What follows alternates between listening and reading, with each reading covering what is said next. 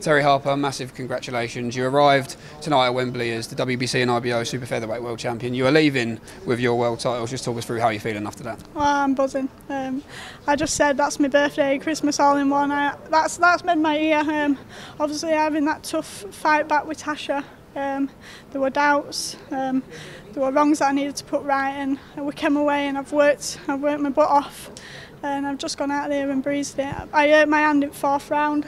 Uh, I couldn't throw it, and when I did throw it, it would give me loads of pain. So I just stuck to my jab, kept long, and just moved. I know she got frustrated at one point. She stood in the middle of the ring. Um, I didn't want to look like I was running, but there was no else I really could do. Uh, so. Yeah, I'm happy. We know heading into the fight that Thanderz liked to swing up, but she really couldn't get close to you tonight. She couldn't pin you down, and you had that big breakthrough in the ninth round. Just talk us through the finish from your perspective. Um, I caught it with the head.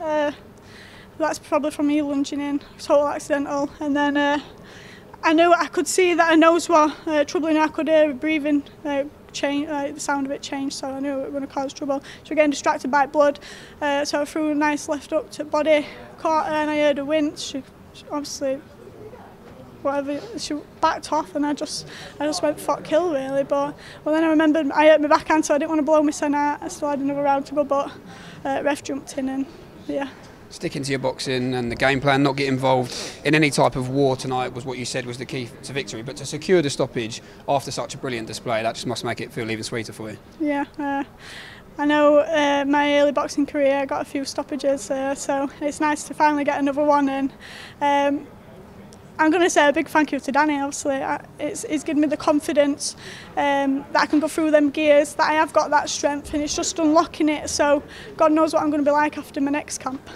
only 24 years old, of course, 12 fights in. When you look back on the journey you've had to nearly giving up the sport, how does it make you feel and contemplate what you've just achieved there tonight with such a great performance, boxing on such a huge night for women's boxing live on Sky as well?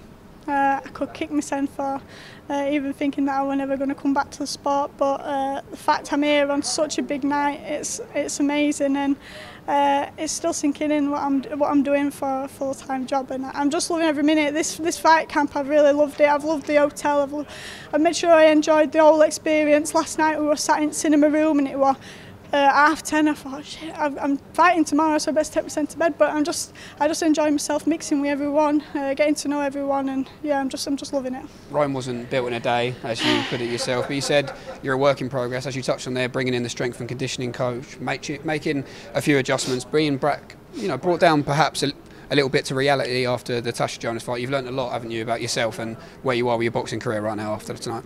Yeah, even from that, I'm going to go watch it back and I'm going to pick up faults. So uh, I'm going to enjoy a rest and then we're going to get back to gym and uh, back back to work, just improving it all the time.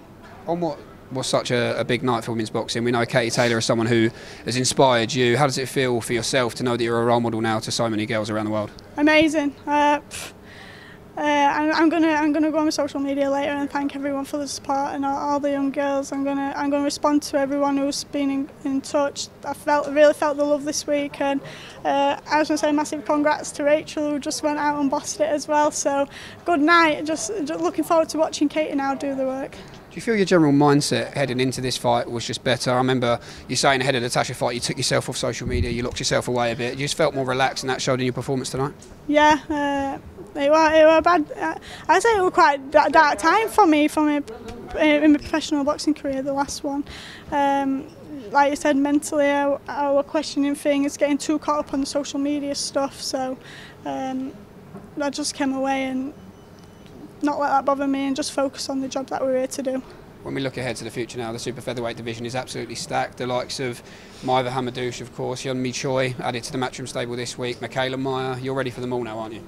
Yeah, I want to fight the best. We know you've highlighted fighting in America as a dream. Mikaela Mayer, sure she was watching tonight. She's had plenty to say. Do you have a, a message for her tonight? I hope you enjoy my left hook to body, because uh, apparently I can't work to body, but uh, I'm coming for you, Mayer. Um, slowly but surely we'll get there, and I'll be punching you in the face very soon. Brilliant. Um, uh, we're just going to bring in Stefy Bull if we can find him. Jump in, mate. on holiday, this Terri. Stefy, brilliant performance. No, you're fine. a brilliant, a brilliant performance from Terri tonight. Is that right up there with her career best? Uh, most matured and, and, polished. Yeah, I think. I think. Uh, I didn't realise it was going to be that easy, to be totally Oh, honest. easy for you. Well, that's the ask me question. but yeah, I, I didn't realise it was going to be that easy. And obviously, wh- she come back at the fourth round. I've hurt my hand. I've hurt. I said, "Don't be negative. Don't be negative." And then for four rounds, she didn't. she didn't throw a backhand. And I'm like, just mix it up, feint with your backhand and come low with your left. And we've been really working on this shot, right and left hook to body.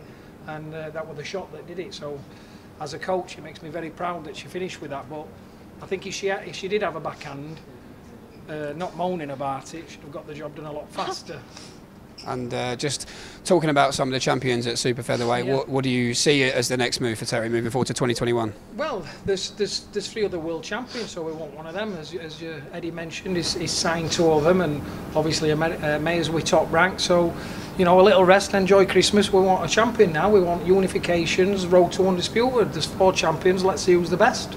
Brilliant. And just to Perry, do you have any final messages and thoughts just about tonight? Um, last time I went home, my granddad gave me a rate telling off, so I'm looking forward to going home and seeing my granddad and seeing what uh, feedback he gives me on tonight's performance. Brilliant. I'm sure we'll be very proud and impressed with your performance, Terri. Terri and Stefy, thanks for joining us. Thank you. Massive congratulations. Well done. Cheers. Cheers. you.